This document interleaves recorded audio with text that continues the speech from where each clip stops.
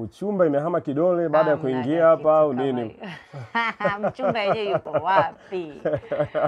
Mchumba Eh. kashatoweka bwana, kwa hiyo hamna, sio. Hii ni udambwi dambwi tu. Kuna interview nilisikia unasema uko single, sijui uko single au uko double. Sikuelewa lile swali uliulizwa, lakini sikulielewa yani. Niko single bwana, sasa hivi mambo yamekuwa mabaya hapo katikati.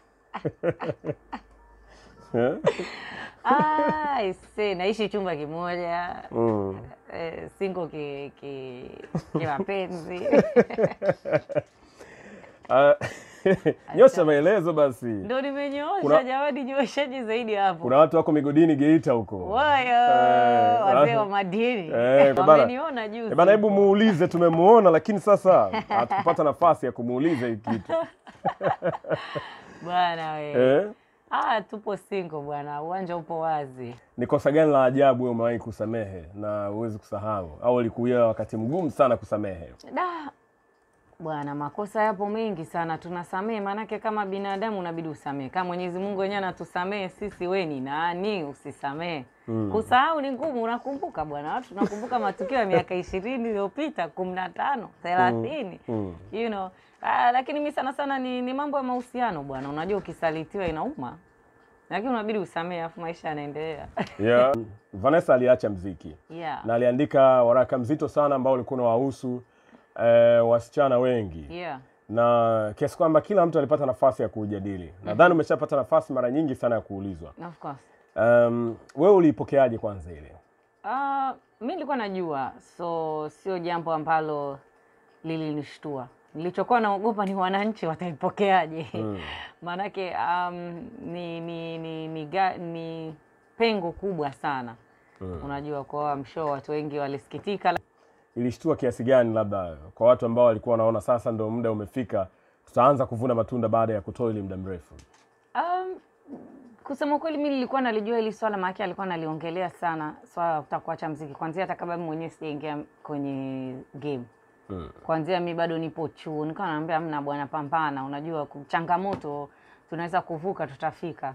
But um, alipoamua sasa, ilibidi tukubaliane nayo sasa, maanake ilikuwa inam, inampa depression, na mtu akishaingia kwenye depression bwana, mambo yanayofuata baada ya hapo yanaweza yakawa ni mazito mm. ambapo tukashindwa kuya kuyazuia. So mimi kwa pande ingine nashukuru kwa sababu kaniachia fans wake napambana nao sasa hivi and um, kidogo naonekana sasa jamani, maanake tulipokuwepo wawili bwana da yeah. mambo yalikuwa ni mengi Kwa hiyo ulikuwa wewe ni moja kati ya watu wanatoka kwenye lebo ya Mdee Music. yeah. Uh, Mdee Music mko wasanii wangapi Ah, sasa hivi ni mimi peke yangu. peke yako? Natasha hafanyi tena mziki. Natasha alikuwa afanyi mziki. Natasha ni manager. Unamwongelea Brian Simba. Brian Simba Brian Simba na yeye ameshamaliza contract yake, ameomba afanye mwenyewe, atafute njia yake mwenyewe. na yule aliyekuwa naimba gospel nani? Nancy, Nancy. Hebron. Eh, Nancy Hebron. Nancy Hebron yupo Kwa hiyo umebaki peke yako kwenye, kwenye lebo. kwenye kwenye lebo kwenye secular music, Yeah. muziki ya duniani. Ah, Yeah. Oh, Yeah. kwa maana ya kwamba kwenye lebo mko zaidi ya msanii mmoja. Yes, kuna Nancy pia ambaye yeye lakini anafanya gospel. Yeah. Yeah.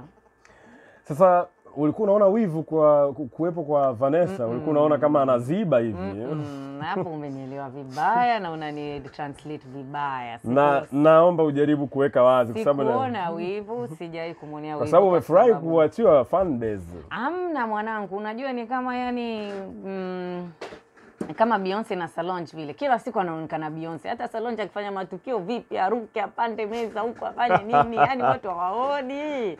Lakini nachoshukuru kidogo sasa hivi naonekana jamani, lakini sio eti kwamba nilikuwa na wivu, hapana. Mm. Lakini um, nashukuru kwamba sasa hivi naonekana kidogo, maanake ilikuwa ngumu, alafu kila saa ulikuwa ukienda ah, mdogo wake Vanessa, mdogo wake Vanessa. Kwa hiyo sasa hivi kidogo inatambulika kama ah, mimi Maz Yeah. unajua, so kuna manufaa kidogo ambayo yamekuja kwangu kwa yeye ku, kuachana na swala zima la mziki. Yeah. So yeah, sio kwamba swala la wivu no. Mm. Eh, hapana. Nini? Hapana, hamna kitu kama hicho. We, kwaje hivyo? Eh?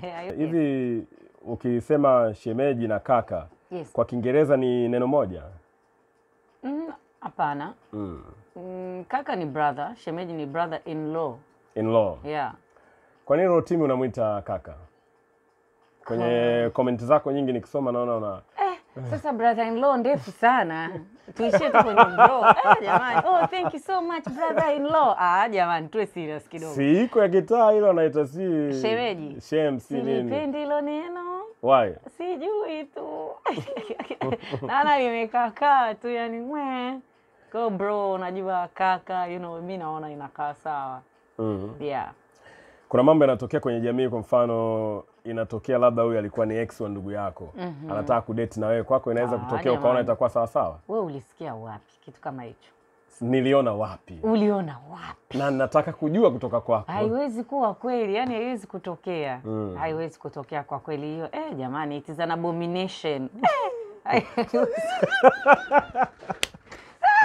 haiwezi kuja kutokea jamani sio kweli. Eh, eh yeah.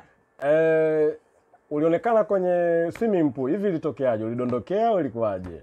Bado tunaongelea hili swala Ah, ni- 2021 nauliza tu sijasema ni lipi. Ah. mi meuliza tu kwenye swimming pool. Bwana bwana swimming pool zipo nyingi. Juzi kati yenyewe nilikuwa kwenye pool nafanya matangazo ya African Star nywele ambayo mimi ni brand ambassador kama unavyoiona ipo hapa kichwani kwangu. utalipia. Utalipia wewe ni mtangazaji unajua. Ah.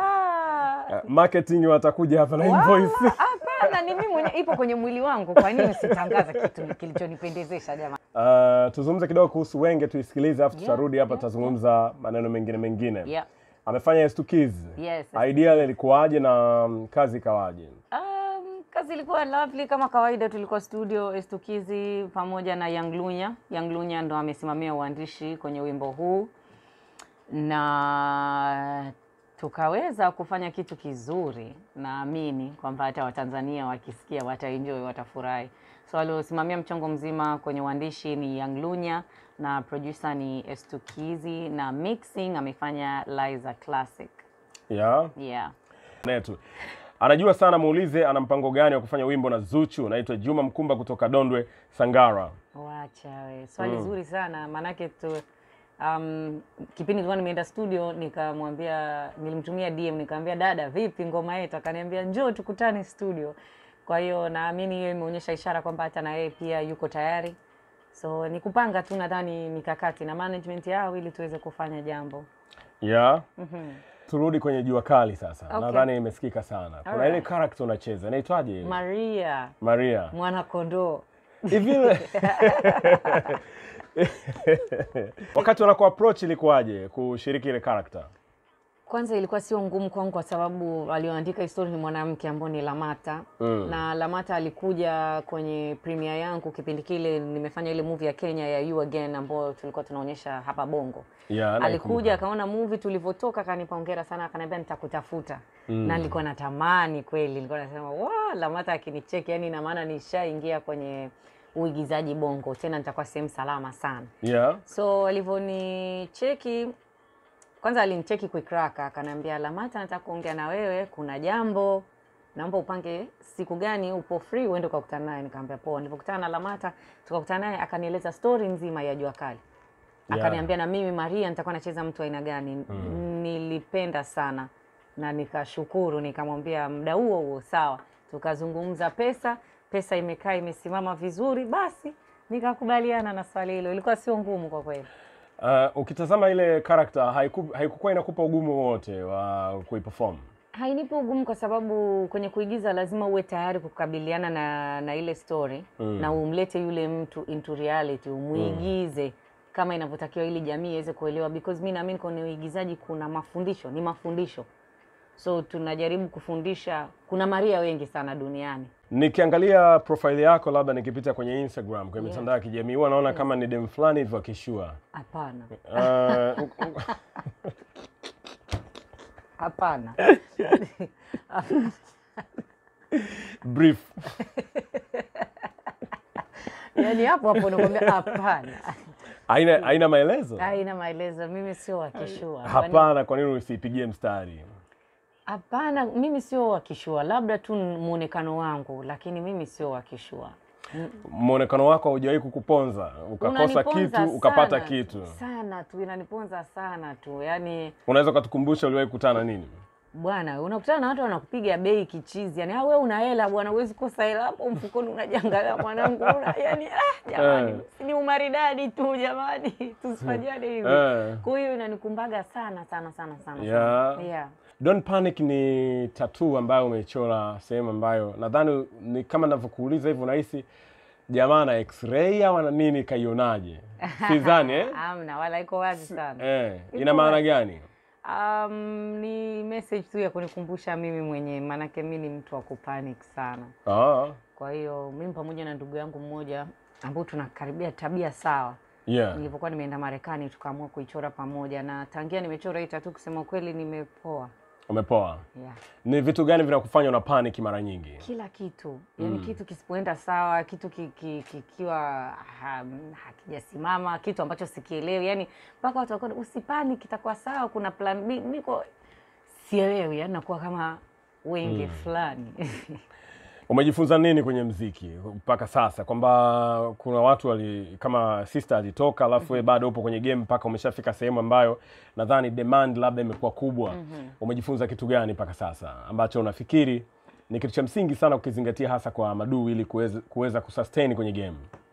Uh, kiki sio mziki kwangu mimi. Umeniuliza mimi, umeniona wapi na kiki?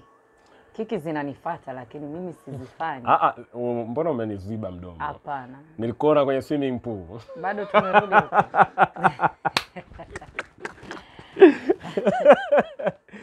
Eh bana, Yes. Uh, tumalize na swali moja kwamba nilikuuliza kuhusiana na Don't Panic, nadhani Yeah. ndio imeleta maswali mengi mengi. Yeah. Kwenye mwili wako una tatuu ngapi? Sasa hivi zipo kumi na nne, Zina maana gani? Kila moja ina maana yake tofauti Mm. lakini sana sana ni maana za kiungu, zingine uh, ni za wazazi wangu na zingine ni message kwangu mimi mwenyewe kujikumbusha. Mm. na unachora mara nyingi unachora tatuu ukiwa kwenye situation gani? Mm, nikiwa napitia kitu kigumu sana au kitu ambacho kinanipa hamasa sana, inategemea we nipo very high au nipo very low. Yeah. Yeah, ili kui, kui um, nisemaje kwa Kiswahili hilo neno, kuiongezea ile rasha rasha. Kujimotivate. Yes, Yeah. exactly. Yeah, Yeah. kujimotivate. Na tatu iliyochora juu ya goti na maana gani? Tatu gani? Watu hawajui ndio, lakini sasa ukisema tu juu ya goti, watu wanabidi wajue tatu gani bro. Utaki kutolea maelezo. Hapana, hiyo hata Sisi tutaizumu tutaiweka tutai screenshot. sawa. Aliiona wapi huyu mtangazaji? Saa ngapi? Eh, Mwezi wa upendo na ujumbe gani kwa wapenda nao? Uh, waendelee kuthaminiana, kuheshimiana, kuelewana na kupendana. Umewahi kuumizwa? Oh. Mara ngapi sasa? Lili- nihesabu mara ngapi? Jeraha lilikatakata moyo hapo, afu ikabidi ukusanye. Unakusanya afu nakatakata tena afu nakusanya tena. Ah bwana, mpaka unafika unasema na nalifungia solo tape sasa. Una uzoefu mkubwa wa kuishi na viumbe kama sisi. Sana. Mm. Sana. Unahisi ni njia nzuri ni ipi? Kuishi na mtu kwanza alafu muoane au mchumbiane amjuani alafu ndo mtengeneze familia. Mi I think watu mkisha connect Mm. Mimi nadhani connection ndo muhimu sana. Mkiwa mna connection mnaweza kucommunicate mkaongea, because communication ni key mwanangu. Mm. Ukiweza kuongea na mtu mnaelewana, yani ukaona huyu naweza nikamueleza jambo langu na yeye akaweza kunieleza, tukaelewana, tukakaa, tukaweza tukaongea, tumeshibana. Yeah. Yeah, mengine yote hata kama mmejuana mwezi miezi miwili fresh tu. Eh, bwana poa sana.